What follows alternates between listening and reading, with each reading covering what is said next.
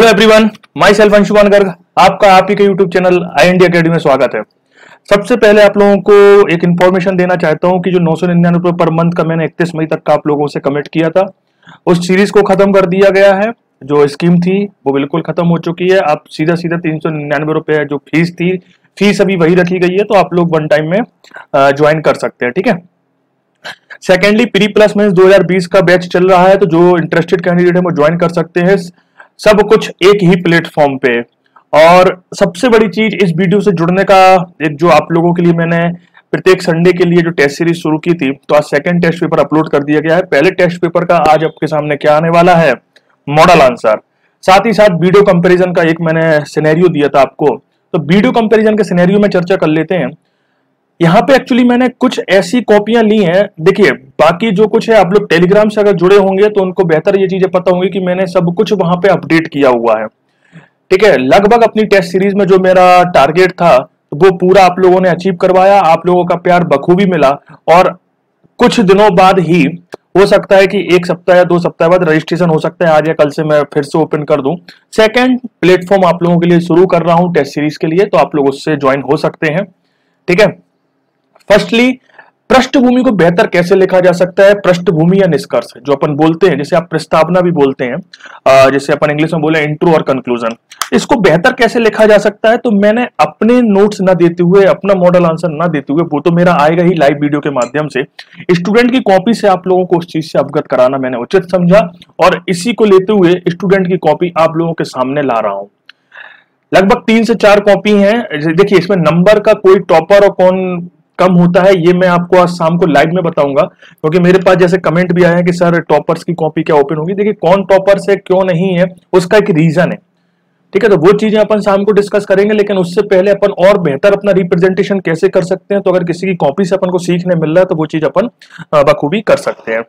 कुछ दिनों से मैं आप लोगों से नहीं जुड़ पा रहा था, इस यही रीजन था कि कोई चीज़ शुरू करना तो आसान होती है, लेकिन एक प्लेटफॉर्म के साथ उसको बखूबी पूरी करना एक टास्क होता है। तो वो पूरा करना चाह रहा हूँ और उसी को लेते लेते मैंने एक और आप लोगों का प्यार इतना ज़्यादा मिल रहा है कि उस चीज़ को मैंने दूसरा प्लेटफॉर्म भी क्रिएट करने का सोचा है, जो लगभग 21 जून के आसपास से आपका शुरू किया जाएगा। 21 जून संडे है क्या? एक बार मैं देख लेता हूँ। जी, बिल्कुल। 21 जून के आसपास से वो सिनेरियो शुरू किया जाएगा। यानी mains online test series part two. पहला पार्ट आप लोगों के सामने था, सेकंड पार्ट। और इसमें सबसे बड़ी चीज़ मैं एक बात और बता देंगे क्वेश्चन रिपीट, जो आप लोग ये सोचे कि भाई साहब एक सर क्वेश्चन ऐसा तो नहीं है कि जो आपने पहले पेपर दिया वही रहेगा। जी नहीं। तो ये चीज़ ज़रूर याद रखिएगा कि जो टेस्ट सीरीज़ सेकंड होगी, उसका पूरा सिनेरियो अलग होगा। ठीक है? और इस कॉपी का लाने का एक मोटिव ये भी था कि आप लोगों को ये फील करा दिया जाए कि जिस तरह से कॉपी चेक हो रही है, जो मैं बोल रहा था कि वीडियो कंपेरिजन से आप लोगों को बताऊँगा, जो ऑनलाइन कॉपी चेक का मैं आप लोगों को बोल रहा था, उसमें मैंने पूरा फील कराने की कोशिश की है कि आपको व्यक्तिगत रूप से ये फील हो कि मैं ऑफलाइन कॉपी चेक हो रही, सर मेरे सामने कॉपी बैठ के चेक कर रहे हैं। ठीक है, और जो बारीकियाँ हैं, जो कमियाँ, बारीकियाँ पता चलती हैं कमियाँ, वो मैंने यहीं पे आपको कवर अप कराने की कोशिश की गई है, ठीक है? तो चलते हैं सीधे कॉपी की तरफ़ तो वहाँ से आप एक एक चीज़ समझ सकते हैं और वीडियो को अंत तक ज़रूर देखें, क्योंकि मेरी कॉपी नहीं है, किसी स्टूडेंट की कॉपी है, नाम मैं किसी का ओपन नहीं करूँगा। टेलीग्राम चैनल पर मैंने सब कुछ दे रखा है, वहाँ पर मैंने बाकायदा सिनेरियो जारी किया है टॉप फाइव स्टूडेंट के नंबर भी हैं, बाकायदा तीन नंबर छह नंबर पंद्रह नंबर के क्वेश्चन और उसके नंबर भी अलग अलग किए गए तो जितनी ट्रांसपेरेंसी हो सकती है सर उतनी ट्रांसपेरेंसी मैंने रखने का प्रयास किया है।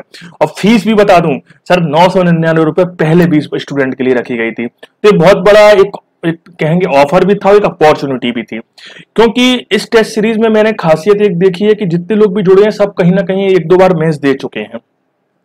और उनके द्वारा इसका रिव्यू मुझे पॉजिटिव मिला और उन्होंने कहा, नहीं सर, आपको दूसरा शुरू करना चाहिए प्लेटफॉर्म जिससे और लोगों को भी इससे थोड़ी, जो कहना चाहिए बेनिफिट ले सकें वो लोग, ठीक है? फ़ीस इशू नहीं है, लेकिन अब ये जो स्ट्रक्चर है, ये शायद आप लोगों को प्रोवाइड ना हो सके। तो उसके लिए मैं आपसे क्षमा प्रार्थी हूँ। बाकी जो भी है आप लोगों के सामने है। मैंने क्या बोला? मेहनत आपकी रास्ता मेरा। तो मैं आप लोगों को वो राह दे रहा हूँ कि जहाँ आप भटक रहे हैं, और उस चीज़ से आप प्रॉपरली एक मार्ग में आके काम कर सके। ठीक है? चलिए तो सीधे कॉपी की तरफ़ चलते हैं तो वहाँ से आप लोग एक एक चीज़ समझ सकते हैं। देखिए, ऐसा ज़रूरी नहीं है कि सभी पृष्ठभूमि अच्छी है, लेकिन कोशिश की गई है कि अगर बच्चे ने कॉपी अच्छी लिखी है तो मैं उस पृष्ठभूमि आप लोगों के सामने लाऊं कि इससे अपन क्या सीख ले सकते हैं। तो ऐसे चार से पाँच कॉपी है, जहाँ से मैं आप लोगों को इस चीज़ से अवगत कराऊँगा, किसी की कॉपी में राइटिंग स्किल अच्छी है तो मैं उस, वहाँ पर भी वो अपडेट दूँगा। किसी की में पृष्ठभूमि अच्छी है तो वो मैंने आपको अपडेट दिया। किसी की कॉपी में स्ट्रक्चर अच्छे हैं तो वहाँ से अपडेट दिया। तो ऐसा नहीं है कि आप ये सोचे कि एक ही कॉपी से आप सब कुछ सीख सकते हैं। तो दो से तीन, चार कॉपी मैंने ऐसा चूज़ किया है, लगभग तीस, पैंतीस बच्चों की कॉपियों में से। तो उसके अनुसार आप लोग अपना कवर अप कर सकते हैं कि और चीज़ें अपने आप को बेहतर प्रयास कर सकते हैं। ठीक है? और सबसे मेरा एक रिक्वेस्ट है, जो मेरे मेंस के छात्र हैं, कि भैया सेकेंड मेंस में मंगलवार के बाद कोई एक्सक्यूज नहीं चलेगा। स्ट्रिक्टली रूल फॉलो रहेंगे तो रहेंगे। और कॉपी अगर साफ़ नहीं आएँगी तो साफ़ इंस्ट्रक्शन है, मैं कॉपी चेक नहीं करूँगा, जमा हो जाए, होती रहे, चाहे मंगलवार के पहले आए, चाहे बाद में आए। क्योंकि अगर साफ़ कॉपी नहीं होती, इस बार तो मैंने कर दिया, लेकिन अब नहीं होगा। रूल स्ट्रिक्टली फॉलो होंगे, इस चीज़ से आप अवगत रहे, क्योंकि 48 घंटे पेपर सबमिट के 48 घंटे के अंदर अगर आप कॉपी नहीं जमा कर पा रहे तो सर, फिर आप खुद लापरवाही खुद से कर रहे हैं, मुझसे नहीं कर रहे। इतना जो आपको फ्लेक्सिबल टाइमिंग दी गई है, सर, कहीं नहीं मिलती। आपका दस बजे पेपर दिया, एक बजे चाहिए तो चाहिए। लेकिन यहाँ पे आप लोगों को उतना समय दिया गया है। तो इस चीज़ से थोड़ी सा आप बखूबी रहें और इस चीज़ को अपने ये कहना चाहिए कि अपने दिमाग में, दिल में सब कहीं रखें कि सर मंगलवार दस बजे से पहले कॉपी सबमिट कर दें आप लोग, ठीक है? चलिए। Rahul ji, Rahul Gupta ji, good morning. Firstly is that कि मैं एक बात आपसे कहूँगा कि कोशिश कीजिए कि कॉपी में एक तो टाइमिंग, वैसे तो आप डेढ़ घंटे में लिख ही लिए होंगे इतना मुझे विश्वास है। और दूसरा चीज़, नाम। ये दो चीज़ें लिख दीजिए क्योंकि जब एक साथ कॉपी होती हैं तो फिर थोड़ी सा दिक्कत होती है। चलिए बात करते हैं सबसे पहले तीन नंबर के क्वेश्चन की प्रश्न नंबर एक। आ, जैसे आपने ये अंडरलाइन की थी चलिए ये तो आपको पता होगा लेकिन कोशिश कीजिए कि अपन अंदर लिखें। प्रश्न नंबर एक आरण्यक आरण्यक में जीवन के रहस्यों व दार्शनिक पक्ष का विवरण होता है। इनकी रचना ऋषियों के द्वारा वन में की गई थी। आ, भाई एक बात बोलूँगा ये जो पीछे का जो स्पेस आप देख रहे हो ना ये कोशिश करो कि जब आप आगे से वो सीक्वेंस लेते हो तो ये चीज़ होना बहुत ज़रूरी है। कॉपी में एक तारतम्यता अगर है तो बहुत बेहतरीन नंबर अपन खींच सकते हैं। ये तो मैं देखो आधा पेज देख रहा हूँ अभी जैसे मैं जूम करके देख रहा हूँ तो आधे पेज में मैं आधा पेज देख पाऊँ लेकिन वहाँ पे जब कॉपी चेक होती है तो वो ऐसे होती है। एग्जैक्टली ये कॉपी है आपका पूरा पेज देख लिया जाए। तो पूरे पेज में अगर आप देखो सिनेरियो तो किस तरह से लग रहा है? ठीक है? जिसको मुझे जो चीज़ लगती है, मैं वो चीज़ आपको कवर अप करा देता हूँ। अब आप पूरे पेज का सिनेरियो देखो। अगर आप देखें सॉरी यहाँ का आपने जो सेंटेंस है, यहाँ से शुरू किया, यहाँ पे, यहाँ से, फिर यहाँ से यहाँ से। तो कोशिश करो कि अगर जैसे एक लाइन में हमने हेडिंग भी डाल दी तो दूसरा अगर हम यहाँ से शुरू करें तो अगली भी हेडिंग यहाँ से है। तो एक जो सिनेरियो आए ना, वो प्रॉपर लगेगा। ठीक है? ये कोशिश कीजिए। चलिए। इनकी रचना ऋषियों के द्वारा वन में की गई थी। वेरी गुड दीवान इश्तियाक इसकी स्थापना फिरोज शाह तुगलक द्वारा कराई गई यह पेंशन विभाग था। ठीक है? सीयू की यह चीनी यात्री हिंसंग की रचना है जिसमें हर्ष के समय की सामाजिक, राजनीतिक, आर्थिक स्थिति का पता चलता है। हिंसियांग ठीक है? माउंट आबू का युद्ध ग्यारह में वेरी गुड लेकिन ये नंबर आप सही से बनाएँ, क्योंकि यही सबसे बड़ी गलती होती, ग्यारह समझ लिया जाएगा। नंबरिंग आप जल्द सही से बनाएँ, थोड़ी सा। मोहम्मद गौरी और गुजरात के शासक मूलराज द्वितीय के मध्य थे, इसमें मोहम्मद गौरी की पराजय हुई, ठीक है? कोई दिक्कत नहीं।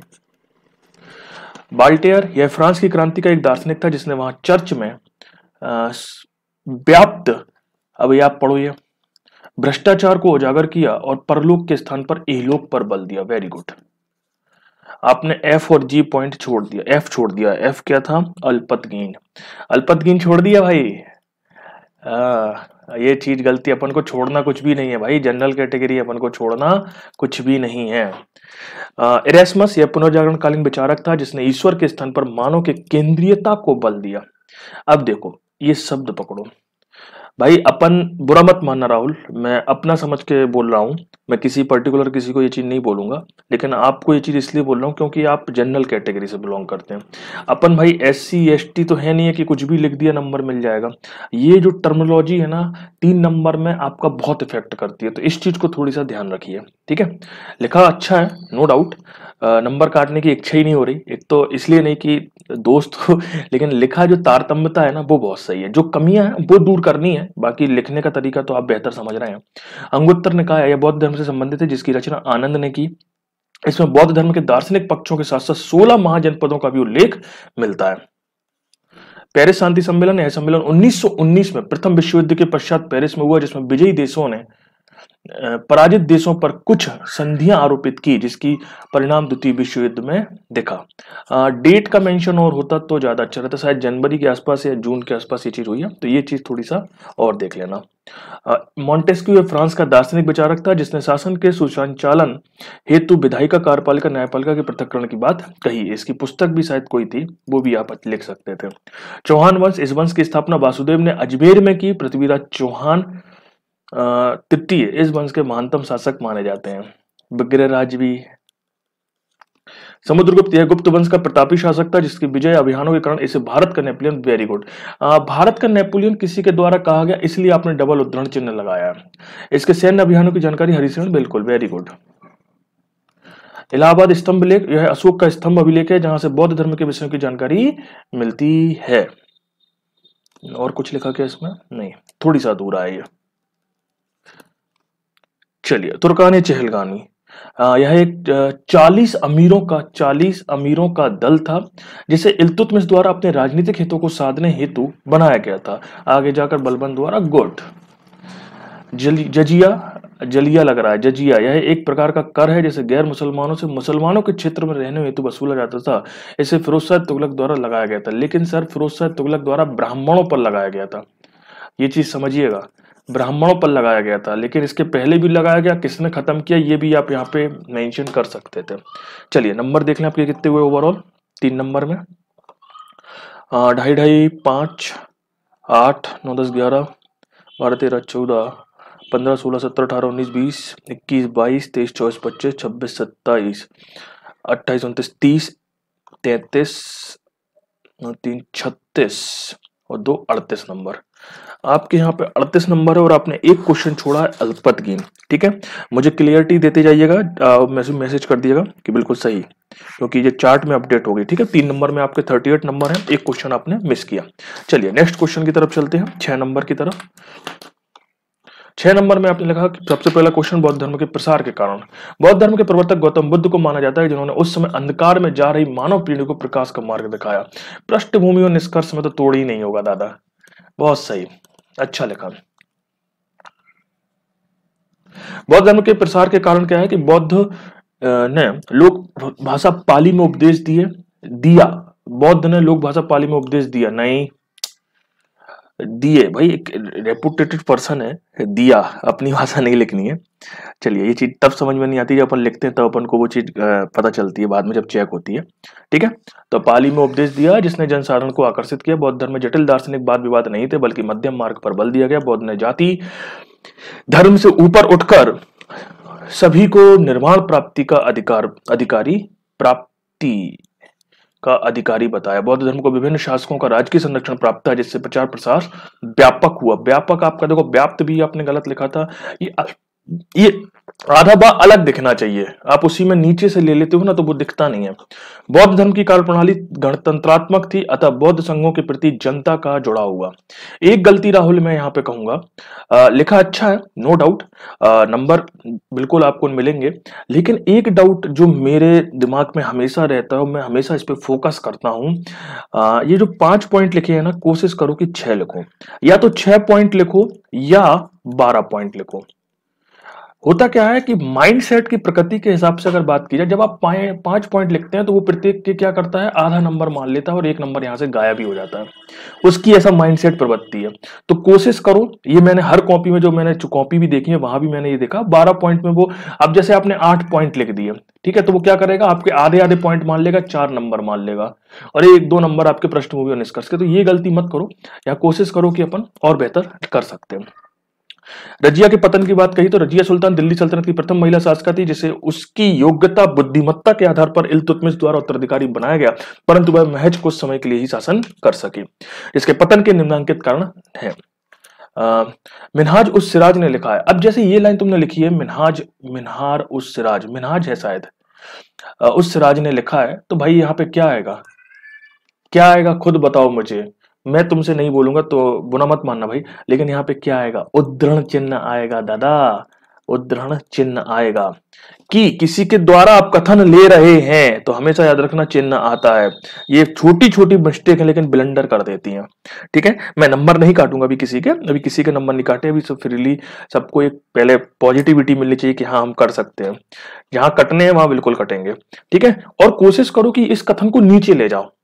अतः मिनाज उस सिराज के द्वारा भी कहा गया है कि रजिया के शासक के सभी गुण थे परंतु एक गुण नहीं था, वह था उसका पुरुष ना होना। और यहाँ पे आपने चिन्ह लगा दिया, कोई दिक्कत नहीं। ठीक है? लिखा अच्छा है, मुस्लिम धर्म में सत्ता का संचालन पुरुषों द्वारा किया जाता है, अतः महिला के साथ मुस्लिम परिवार से जुड़ाव भी एक अन्य कारण था। जब रजिया अमीरों व धर्म गुरुओं को आदेश देती, तब वह उसे अपना अपमान मानते थे, अतः उसके विरुद्ध षड्यंत्र को बढ़ावा मिला। रजिया को याकूत से प्रेम था, जिससे कई शासक याकूत व रजिया के शत्रु बन गए थे, और इसी के चलते याकूत व रजिया कि कैथल में हत्या कर दी गई। अच्छा एक बार राहुल, देखना ये चीज़ कि याकूत की भी हत्या वहाँ की गई थी कि उसके पति की और रजिया की वहाँ पे कैथल के निकट हत्या करी गई थी? बाद में शायद याकूत की की गई थी। चलिए तो ये अच्छा लिखा है, लेकिन जो चीज़ मैंने कही है उसको थोड़ी सा अब वो आप कथन नीचे लिखते ना तो और इंप्रेसिव लगता, ठीक है? चलिए नंबर मैं सीधे सीधे लेते चलता हूँ। थर्टी आपके एट हो गए थे वहाँ पे थर्टी एट नंबर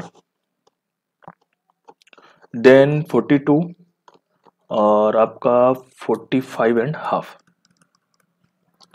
चलिए। अगला है, हम्पी की बात करें, हम्पी विजयनगर साम्राज्य की राजधानी थी, जिसकी स्थापना हरिहर और वक्का नामक दो भाइयों ने की थी। हम्पी की विशेषताएँ, हम्पी से होकर तुंगभद्रा नदी निकलती है, जिस कारण यह क्षेत्र कृषि की दृष्टि से अधिक उपजाऊ है। हम्पी में कला और संस्कृति का भी प्रसार हुआ, जिसके तहत कला के क्षेत्र में कृष्णदेव राय ने अमुक्त माल्यदा एवं जाम्बती कल्याणम की रचना की तो वहीं महलों की दीवारों पर की गई चित्रकारी का वर्णन भी प्रशंसनीय है। ये पैराग्राफ ही आपका सब कुछ किया गया। हम्पी में सल्तनत शासकों के विपरीत हिंदुओं के मंदिर प्रमुख है, जो द्रवण शैली का प्रतिनिधित्व करते हैं। अब ये हम्म पकड़ गए। कला व संस्कृति में हम्पी का महत्व आज ही प्रासंगिक है। यही कारण है कि वर्तमान में हम्पी यूनेस्को के विश्व धरोहर सूची में अपना स्थान बना पाई है। एक काम और, जैसे तुम ये देख रहे हो, मैं पॉइंट चार चार है तुम्हें चार पॉइंट याद आ रहे हैं ना तो तुम पॉइंट मत लिखो। सीधा स्टार बनाओ या ऐसे पॉइंट करके लिख दो, ठीक है? तो अच्छा लिखा है ये तो। फिफ्टी नंबर हो गए आपके। चलिए डी क्वेश्चन, सल्तनतकालीन कर्ण प्रणाली की बात की गई है। भारत प्रारंभ से ही कृषि प्रधान रहा है। यहाँ शासकों ने अपने राजस्व में वृद्धि हेतु लगान का ही सहारा लिया है। परंतु जब शासकों की लगान से पूर्ति नहीं हुई, तब उन्होंने अन्य करों का सहारा लेना प्रारंभ किया है। इस परिप्रेक्ष्य में सल्तनत की कर प्रणाली को देखते हुए जो देखते हैं, जो निम्न प्रकार से, सल्तनत की कर प्रणाली, इस परिप्रेक्ष्य में सल्तनत की कर प्रणाली को देखते हैं। देखते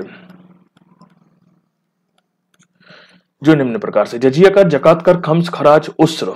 ठीक है, जजिया देखिए, एक दो प्रकार से भी हो सकते थे कि एक जो सामाजिक कर लगते हैं, समाज पे कर लगते हैं, या ये कह सकते थे कि आर्थिक दृष्टि से कर और धार्मिक कर। एक प्रकार से अपन वो चार्ट भी देख सकते थे एक छात्र ने कॉपी में लिखा अच्छा लगा वो फॉर्मेट, मैं बताऊँगा। यह कर गैर मुसलमानों से मुस्लिम क्षेत्र में रहने हेतु लिया जाता था जकात कर यह कर मुस्लिम से लिया जाता था, जो कि एक प्रकार का अनिवार्य धार्मिक कर था। कितना था? आपने प्रतिशत तो लिखा ही नहीं, प्रतिशत तो लिखा ही नहीं, कितना था? ऐसे नहीं लिखना। कम से यह लूट का धन था जिसे शासक पूर्व निर्धारित मात्रा के तहत उन सैनिकों को जो लूट में शामिल थे, बांट देते थे। सर, ये यूपीएससी नहीं है, ये पीएससी है। याद रखना है, कॉपी दोनों की अलग लिखी जाती है। पीएससी में कितना था भैया, ये पूछेगा। खराज भू राजस्व था जो हिंदू किसानों से वसूला जाता था, उस मुस्लिमों से वसूला जाने वाला। बिल्कुल सही लिखा है, लेकिन जो मैंने गलती पकड़ी वो चीज़ पकड़ो। पचास सौ बावन।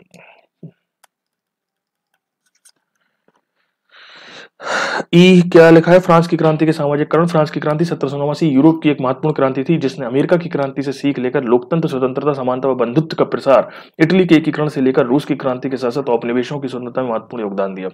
सामाजिक करण प्रथम स्टेट, द्वितीय स्टेट, तृतीय स्टेट, इसके साथ पादरी वर्ग था, जिसके पास भूमि का सर्वाधिक हिस्सा था। यह वर्ग कर से मुक्त था और तृतीय स्टेट बहुत अच्छा। इसके तहत सामंत व अधिकारी थे जो पादरी को संरक्षण देते थे, यह भी कर से मुक्त थे और तृतीय स्टेट का शोषण करते थे। बहुत सही। इसके तहत किसान मजदूर, व्यापारी फिर देखो, बात तुम्हारा गलत बनी रहा है। व्यापारी, शिक्षक, बुद्धिजीवी थे इसमें किसान को मजदूर आर्थिक रूप से कमज़ोर थे तो वहीं बुद्धिजीवी वर्ग असमानता से ग्रसित था। फ्रांस की क्रांति में विभिन्न घटनाओं के साथ सामाजिक घटना महत्वपूर्ण थी। जिसने क्रांति के लिए जन आधार तैयार करने में भूमिका निभाई। बहुत अच्छा। जो फॉर्मेट बनाया है ये बहुत अच्छा है। नो डाउट ये फॉर्मेट आपको बहुत बेहतरीन काम देगा। सत्तावन नंबर फिफ्टी सेवन नंबर आपके हो गए, बहुत अच्छा काम कर रहे हैं आप। मगध साम्राज्य के उदय के कारण हाँ दूसरा क्वेश्चन आपने चुना है, मगध साम्राज्य के उदय के कारण। चलिए, अनुकूल भौगोलिक अवस्थिति, यह क्षेत्र में नदियों की पर्याप्तता थी। जिसके कारण एक और अच्छा पॉइंट क्या लिखे हैं? अनुकूल। अच्छा एक काम और कर सकते हो, राहुल। जैसे तुमने ये सीधा सीधा लिखा ना, यहाँ पे फ्लो चार्ट और बना दो। जैसे हम पॉइंट देख लें पहले तुम्हारे, अनुकूल भौगोलिक अवस्थिति, जनसंख्या वृद्धि, सेना वाला पॉइंट तो तीन से चार पॉइंट बना के उनको और छोटा पैराग्राफ जो तुमने इतने बड़े बड़े पैराग्राफ लिख दिया ना इनको आप एक फ्लो चार्ट बना के तो फ्लो चार्ट से नंबर खींचते हैं। ये कोशिश करना अगली बार से, एक बार और देखना। यह क्षेत्र में नदियों की पर्याप्तता थी जिसके कारण एक और मृदा उपजाऊ हुई तो वहीं अधिक कृषि से अन्न का अधिशेष हुआ। ठीक है पहाड़ी व नदियों ये सेंटेंस थोड़ी सा लग रहा है वहीं अधिक कृषि से अन्न का अधिशेष हुआ। ठीक है पहाड़ी व नदियों से घिरे रहने के कारण यहाँ की राजनीति को राजधानी को या वहाँ के क्षेत्र को प्राकृतिक सुरक्षा प्राप्ति प्राकृतिक संसाधन जैसे लोहा धातु खनिज तत्व आदि की उपलब्धता ने कृषि कार्य में सहायता के साथ साथ युद्ध युद्ध शास्त्र में भी भूमिका निभाई। वन जंगल की उपलब्धता ने आ, वही गलती हो रही है तुमसे। सेंटेंस तुम सही लिख रहे हो, लेकिन जो एक स्ट्रक्चर है स्ट्रक्चर प्रॉपर करो स्ट्रक्चर प्रॉपर करो। अगर नंबर तुम्हें और बेहतर चाहिए, है ना, अपन को तृतीय ग्रेड वाला काम नहीं करना है, राहुल। अच्छा काम करो। ये जैसे तुमने ये पॉइंट यहीं से लिख दिया सीधे। ये तुम्हारी मना स्थिति की बात हो रही है, मनो स्थिति को, और एक फॉर्मेट तुम यहाँ से लिख रहे हो। खुद देखो। मैं वो चीज़ कर रहा हूँ ये देखो तुम ये चीज़ नहीं अगर कोशिश करो कि यहीं से स्ट्रक्चर बनाओ ठीक है? लिखा अच्छा है नो डाउट जनसंख्या वृद्धि श्रम की उपलब्धता बढ़ी अब गैर कृषि कार्यों श्रमिक संलग्न हुए तथा विशाल सेना निर्मित हुई सेना में सभी वर्ग के लोग मौजूद थे जिसमें सामाजिक गतिशीलता बढ़ी। तो साथ ही शासक वर्ग बिंदुसार राजा शत्रु की कुशल थे जिन्होंने मगध साम्राज्य को उत्कर्ष तक पहुँचाया। आपके नंबर 57 हो चुके थे 60, 60 एंड हाफ़ चलिए आगे। जी क्वेश्चन फिरोज तुगलक के प्रशासनिक सुधारों का वर्णन। फिरोज तुगलक दिल्ली सल्तनत में तुगलक वंश का प्रमुख शासक था। जब वह गद्दी पर बैठा तो निम्न समस्याएँ थी। प्रशासनिक सुधार। उलेमा असंतुष्ट थे, कृषक असंतुष्ट थे सैनिक असंतुष्ट, इकतेदार। फिरोज शाह तुगलक ने इन समस्याओं के समाधान हेतु प्रशासन में कुछ सुधार किए। फिरोज शाह ने उलेमा को संतुष्ट करने हेतु राज्य को शरीयत के अनुसार चलाने का निर्णय लिया और इस क्रम में उसने तेईस प्रकार के करों को समाप्त कर चार मुख्य कर लगाए। कृषक को संतुष्ट करने हेतु उसने दिल्ली, हरियाणा क्षेत्र में अनेक नहरों का निर्माण कराया। इकतेदारों को संतुष्ट करने के अनेक पदों को वंशानुगत कर है और लोक निर्माण विभाग बनवा दिया और तीस से अधिक शहरों। और एक अगर तुम इतना सटीक लिखा है इसका आंसर, अगर इसमें एक चीज़ और डाल देते कि आम जनता जो थी उसके लिए भी कुछ ना कुछ उसने क्या कराए? विभागों की स्थापना कराई। कृषियों कृषक में आप, कृषक विभाग भी इस समय बन गया था, जो आपका एमबीटी ने बनवाया था, लेकिन इससे पहले बनवाया था। इसके बाद पेंशन विभाग की शुरुआत करी, है ना? तो ये अगर थोड़ी और मेंशन कर देते, बहुत अच्छा। वेरी गुड जो आपने पूरा बेस से उठा के उसको लिख दिया है। इकसठ और पैंसठ। चलते हैं अगली तरफ़। राष्ट्र संघ की असफलता के कारण प्रथम विश्व युद्ध के पश्चात विजित राष्ट्रों ने पराजित राष्ट्रों के साथ जो बरसाई की अपमानित संधि की थी, उसके प्रत्युत्तर को रोकने हेतु राष्ट्र संघ का निर्माण विश्व शांति के आधार पर लिया। सेंटेंस फॉर्मेशन अच्छा बना रहे हो। परंतु यह विजित राष्ट्रों के स्वार्थ की पूर्ति करती रही, जिसने द्वितीय विश्व युद्ध को जन्म दिया। राष्ट्र संघ की सफलता के कारण राष्ट्र संघ की स्थापना, अब देखो पहला पैराग्राफ यहाँ से, पॉइंट यहाँ से। राष्ट्र संघ की स्थापना अमेरिका की प्रेरणा से हुई थी, परंतु जब वह हट गया तो हट गया, नहीं सेंटेंस में शब्द कुछ और लीजिए। तो प्रतिक्रियावादी, वलसाली हुई, ताकतें ताकतें। हुई और राष्ट्र संघ की अनदेखी हुई। राष्ट्र संघ में सार्वभौमिकता सार्वभौमिकता का भी अभाव था, जिसके तहत अमेरिका स्वेच्छा से शामिल नहीं हुआ तो वहीं रजमनी और रूस इसमें शामिल नहीं थे। राष्ट्र संघ के पास अंतरराष्ट्रीय सेना नहीं थी, जो उसके नियमों के उल्लंघन पर देश को दंडित कर सके। राष्ट्र संघ बड़े देशों की कठपुतली था, क्योंकि जब जापान ने मंचूरिया पर तथा जर्मनी ने रूस पर हमला किया तो राष्ट्र संघ मौन रहा। बिल्कुल आ, सही लिखा लेकिन निष्कर्षता हमें कुछ तो लिखते और ये तुमने लिखा सही है लेकिन निष्कर्षता हमें कुछ लिखना था। ठीक है? नंबर नहीं काटेंगे लिखा सही है क्योंकि।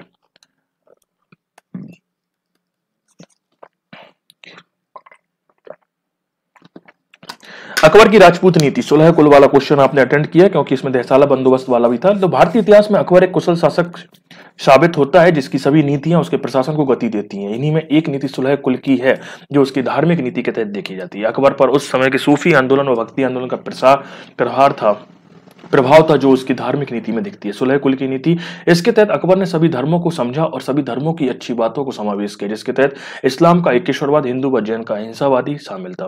विशेषताएँ सभी एक पत्नी व्रत का पालन करे, जीवन में अहिंसा को अपना सभी धर्मों के प्रति उदार व सहिष्णु रहे। क्या लिखा, व्यक्ति अपनी मृत्यु के पश्चात को भोज अपने जीवन काल में दे। मृत्यु इसमें यह होगा कि जो व्यक्ति है अपनी मृत्यु के पश्चात के भोज को अपनी मृत्यु अपने जीवन काल में दे। सेंटेंस में को नहीं आएगा, क्या आएगा? इस प्रकार देखा जा सकता है कि अकबर की सुलह कुल की नीति को धर्म नहीं, बल्कि सभी धर्मों का, क्या लिखा है? सारथी। सभी धर्मों का सारथी। ठीक है।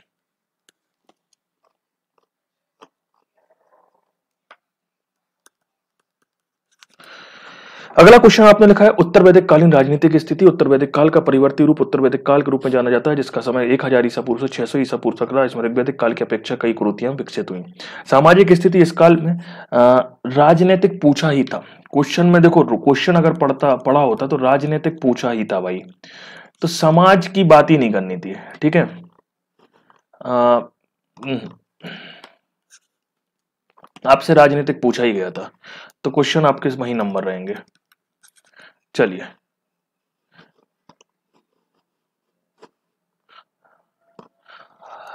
एक क्वेश्चन आपने छोड़ दिया है, गंधार कला, मथुरा कला। ठीक है? तो ओवरऑल आपके नंबर कितने आ रहे हैं? तिहत्तर एंड हाफ़ यहाँ तक हो रहे हैं। और आपने एक क्वेश्चन गंधार कला, मथुरा कला का छोड़ दिया, एक आपका गलत हो गया। तिहत्तर एंड हाफ़ हो रहे हैं, यानी अड़तीस नंबर में से अगर इसको माइनस किया जाए, तिहत्तर नंबर सॉरी तिहत्तर माइनस अड़तीस। तो लगभग साढ़े पैंतीस नंबर आपके इसमें गेन हुए हैं। ठीक है? चलते हैं अगले की तरफ़।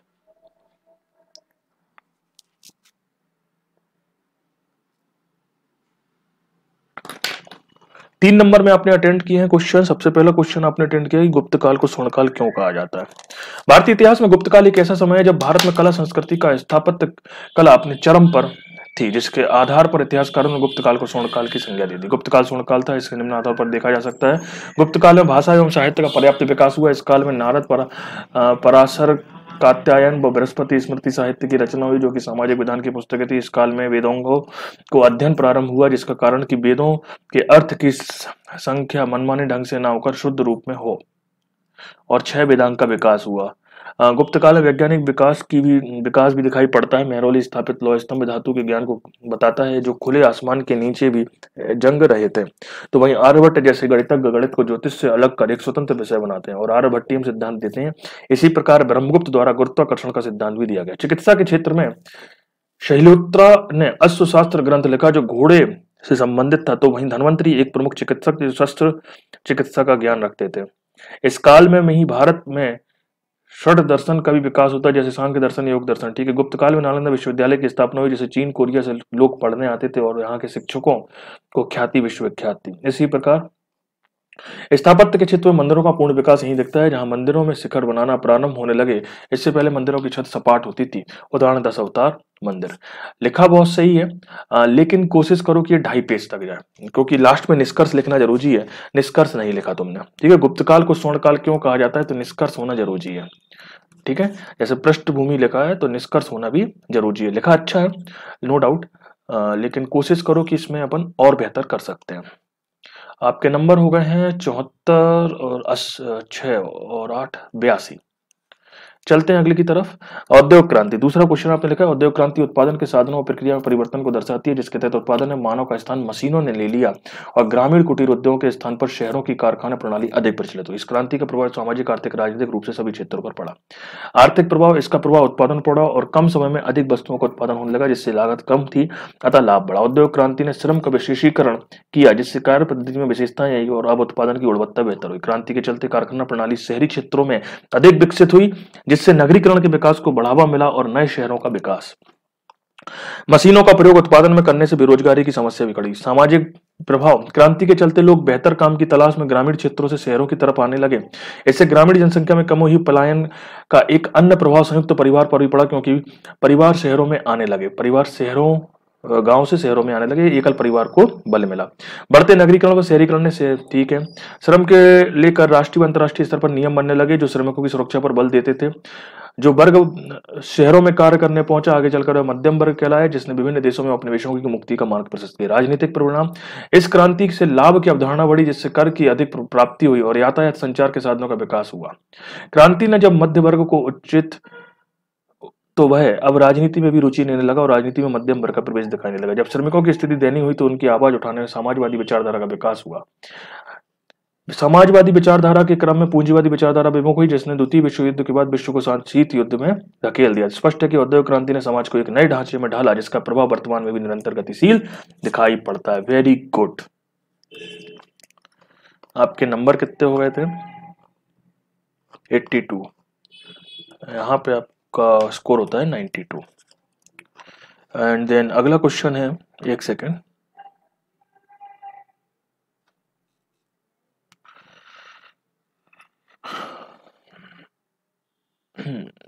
प्रत्येक नए युग की शुरुआत जब किसी भीषण त्रासदी से होती है तो विश्व युद्ध के बारे में आपने लिखा है।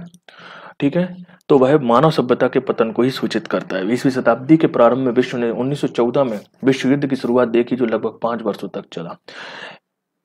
लगभग इस युद्ध ने मनुष्य से मनुष्यत्व पर एक प्रश्न चिन्ह लगाया।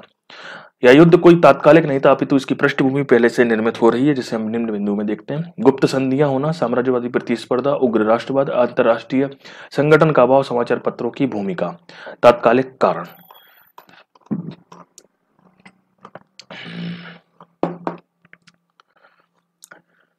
जर्मनी के एकीकरण के पश्चात वहाँ के चांसलर बिस्मार्क ने फ्रांस को प्रभावशाली बनाने तथा फ्रांस को अलग रखने हेतु ऑस्ट्रिया इटली के साथ गुप्त संधि की, जिसमें गुटों का निर्माण किया। आगे चलकर यही गुट आपस में शत्रु बने। साम्राज्यवादी प्रतिस्पर्धा, औद्योगिक क्रांति के लाभों को लेकर यूरोप के विभिन्न देश औपनिवेशी प्राप्ति पर बल देने लगे, जिसने इनमें मित्रता के स्थान पर शत्रुता को जन्म दिया। उग्र राष्ट्रवाद ने शासकों के गण मन में अपने देश का विस्तार व अन्य देशों के संकुचन को विस्थापित किया, जिसके लिए युद्ध होना स्वाभाविक था। और इस युद्ध को बढ़ते सैन्य अभ्यास ने और भी गति दी। अंतर्राष्ट्रीय संगठन का अभाव, यूरोपीय राष्ट्र युद्ध के लिए तैयार थे, ऐसी स्थिति में आवश्यकता थी कि एक ऐसी अंतर्राष्ट्रीय संस्था हो जो युद्ध को रोक सके, परंतु प्रथम विश्व युद्ध के पूर्व ऐसी कोई संस्था मौजूद नहीं थी।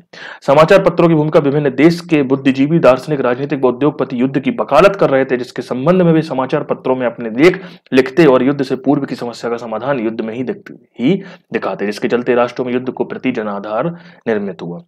जब ऑस्ट्रिया के राजकुमार की हत्या बोर्सिया में कर दी गई थी तो ऑस्ट्रिया ने इसका सारा दोष सर्बिया पकड़ दिया था। सर्बिया ने रूस ठीक है ये तो। लेकिन निष्कर्ष और लिख देते कि सर्बिया और ऑस्ट्रिया तो केवल किसने कहा? इस संदर्भ में कहा गया है कि सर्बिया और ऑस्ट्रिया तो केवल घोड़े थे, घुड़सवार तो उन पर बाद में सवार हुए। वाह अच्छा निष्कर्ष दिया है।